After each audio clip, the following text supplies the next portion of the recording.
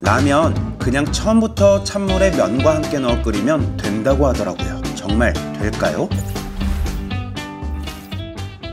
여러분 안녕하세요 비롱입니다 오늘은요 사계절 내내 누군가에겐 주식이기도 한 라면에 대한 테스트를 해보려고 가져와 봤습니다. 저 또한 요리에 대해서 관심이 많고 그리고 새로운 것들이 등장하면 꼭 그걸 따라서 만들어 보기도 하는데요. 요즘 인터넷에 정말 화두가 되었던 찬물 라면. 과연 정말 찬물에 면을 넣어 끓이면 우리가 평소에 끓였던 물을 끓이고 면을 넣어 끓였던 라면과 똑같은 라면이 될까요? 정말 이슈가 되었던 이 말. 아직도 물을 끓이고 면을 넣어 라면 끓이시나요? 그렇게 하지 마세요. 찬물에 면과 스프 넣어 끓이면 똑같은 라면이 된다고요. 정말 이 말대로 될까요?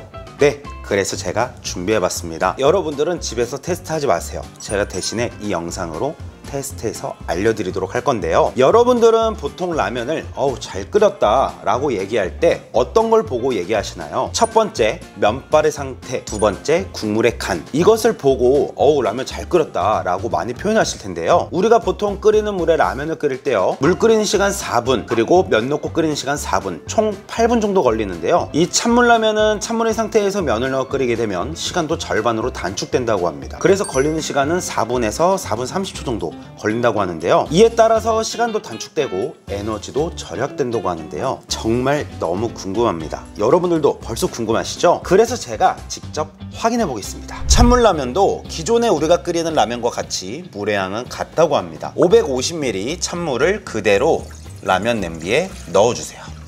그리고 찬물 위에 그대로 면을 넣습니다. 여기엔 후레이크도 바로 들어가고요. 스프도 바로 넣어줍니다. 이대로 끓여보겠습니다. 그리고 끓는 전까지 시간을 재어보도록 할게요.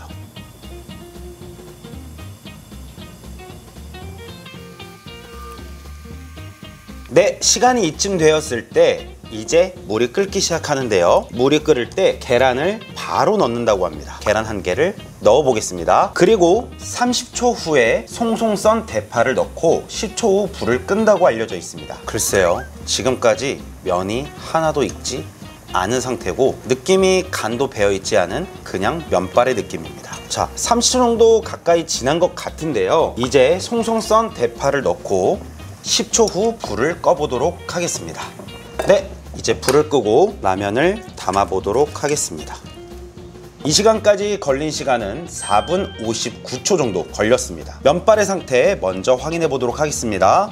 네 확실히 덜 익은 느낌이 있는데요. 이 찬물라면 레시피를 만드신 분은 글쎄요 이렇게 덜 익은 면을 좋아하는 분인지는 잘 모르겠지만 면이 덜 익은 느낌입니다. 한번 먹어볼게요. 음... 내 면이 한 65% 정도 익은 느낌입니다. 국물도 한번 먹어보겠습니다. 어 국물은 맛있습니다. 하지만 가장 첫 번째로 라면을 끓였을 때 가장 중요한 거는 라면 익기 정도일 텐데요. 저도 평소에 라면을 끓일 때 면을 거의 다 익히지 않고 약간 꼬들한 상태에서 먹는 편인데요. 글쎄요 이 정도의 면발이면 어, 꼬들거렸다는 느낌보다는 좀 덜 익었다 라는 쪽이 가깝다고 생각을 합니다 네, 면발은 완벽한 상태였다 라고 표현을 하셨는데 글쎄요, 면발이 너무 아쉽습니다. 내가 먹는 라면이 아니라 누군가한테 끓여주는 라면이라면 이렇게 끓여줬을 때 박수 받고 칭찬받고 좋은 말을 들을 수 있을지는 잘 모르겠습니다.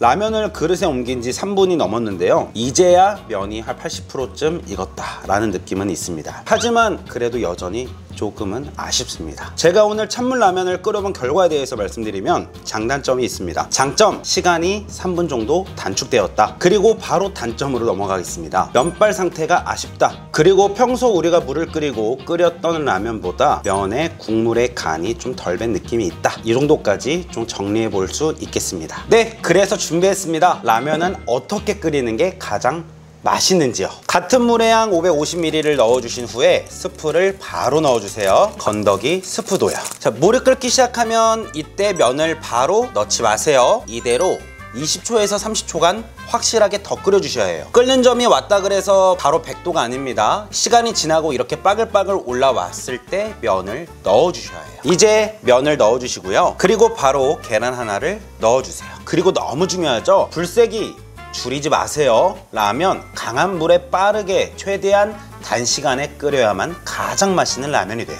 면을 넣은 지 3분이 지났으면 대파를 넣어주시고요. 이대로 1분간 끓여 불을 꺼주시고 맛있게 드세요. 그러면 가장 맛있는 라면이라고요. 자 이렇게 맛있는 라면 끓여봤는데요 여러분 대기업은 똑똑합니다 라면 봉지 뒤에 있는 그 레시피 그대로 그냥 맛있게 끓이시면 되세요 면이 살짝 탱글탱글하면서 국물에 간이 조금은 배어 들어간 것처럼 색깔도 찬물라면보다 훨씬 더 예쁘게 남았고요. 그리고 이상하게도 물을 끓이고 끓인 라면은 쳐다만 봐도 침이 꼴깍꼴깍 넘어갑니다.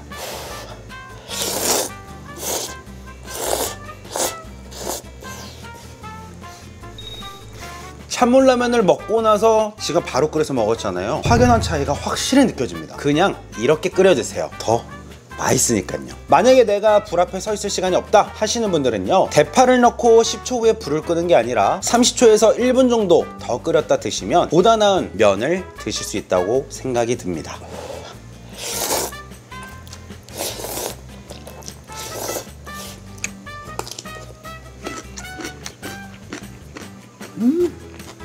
왜 우리 음식을 깔아놓고 먹을 때도 간 센 음식을 먹었다가 약한 음식을 먹으면은 좀 느낌이 덜 오잖아요. 그런데 찬물라면을 먹었다가 이렇게 끓인 라면 먹으니까요. 확실히 차이가 느껴지는데요. 어, 저는 두 번 다시 찬물라면은 안 끓여 먹을 것 같아요.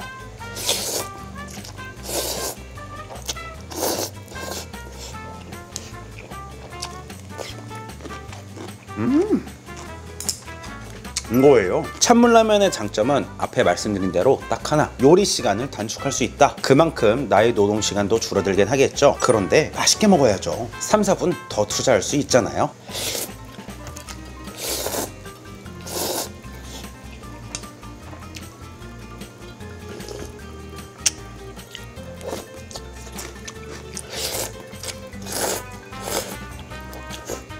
이슈가 되었던 찬물라면 그에 맞는 멘트 아직도 물 끓이고 면을 넣으시나요? 그렇게 하지 마세요. 그 멘트를 저는 반대로 하겠습니다. 찬물에 면을 넣지 마세요. 꼭 물을 끓이고 면을 넣어 평소와 같게 라면 끓여주세요. 그게 더 맛있으니까요.